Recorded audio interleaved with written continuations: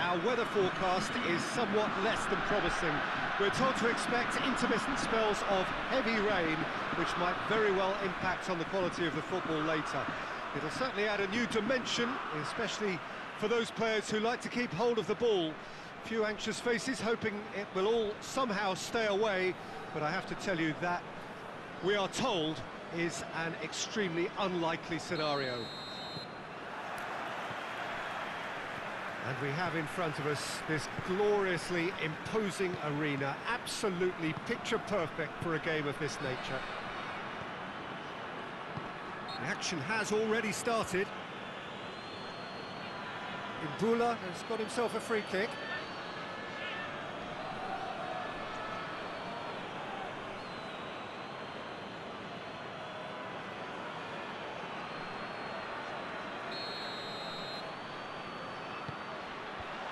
And the defence can get it clear. Tries to stroke it through. Tries to switch the play. Out to the left it goes. Pass needed to be better than that, and he knows it.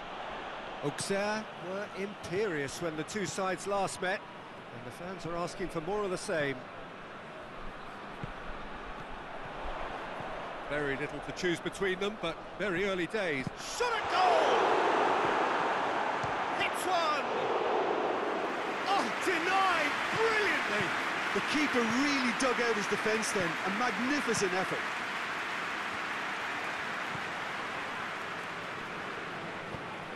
Plays it out to the wing. There are a few waiting for it. Just brushed off the ball there. Ball through needs to be good here. And the finish! Well, I'm not quite sure he needed to hold up play quite as much as he did then. A couple of his teammates were very annoyed. Hoists it forward. Auxerre have a very fine defensive record over recent games. Clermont have opted to really stretch the game now. Yeah, that's pretty evident, but what's their thinking? Um, I, it looks as if the opposition are happy to defend the width of the 18-yard box, trying to remove that compactness.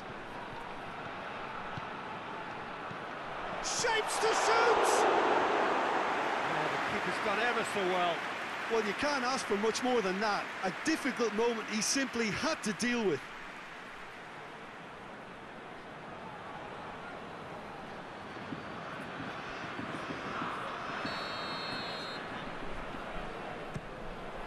And that has been cleared.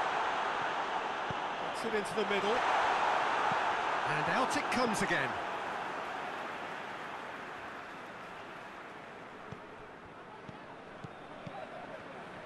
Oh, that is lovely footwork.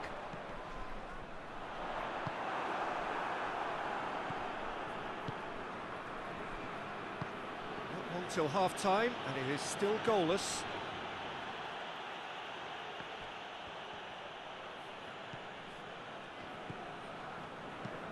Plays it out to the flank. Cleared without complication. Well, He's certainly caught him there, it's a free kick.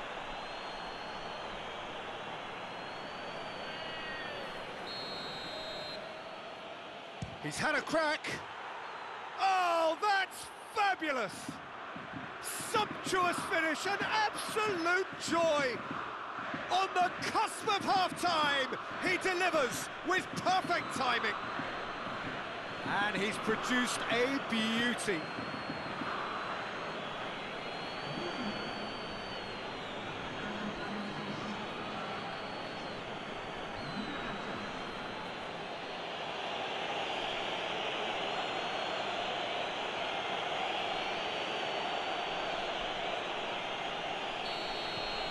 Clermont-Auvergne take the lead, 1-0. Still a fragile lead, though. They can't afford to sit on this.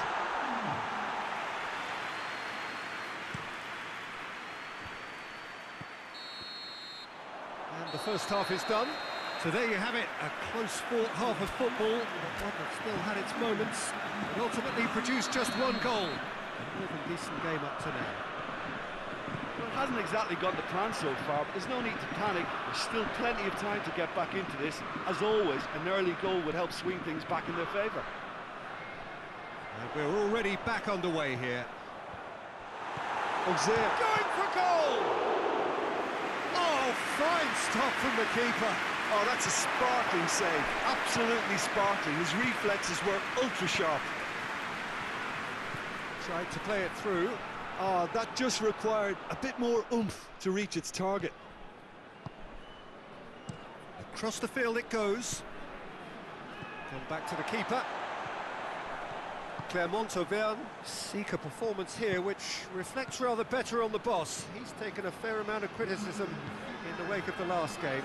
Yeah, but he brought the criticism upon himself by making substitutions that didn't really make sense. They added confusion when he really needed cohesion. Yeah, he's fouled him there. The referee has resisted the temptation to go to his pocket. It's just a stern lecture.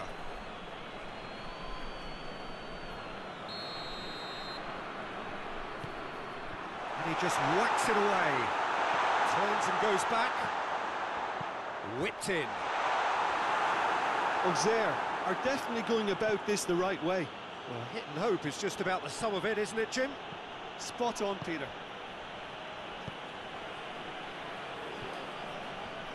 Forward it goes.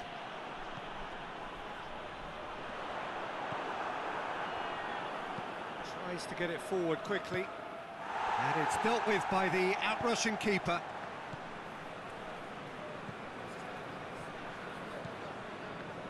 And it's played forward. A long ball, but not especially accurate. Hoists it forward. Auxerre are actually displaying tremendous fighting spirit. There's a real belief that they can still have a say. Going through. This is good ball retention, and it should be enough from here, but they want to double their advantage.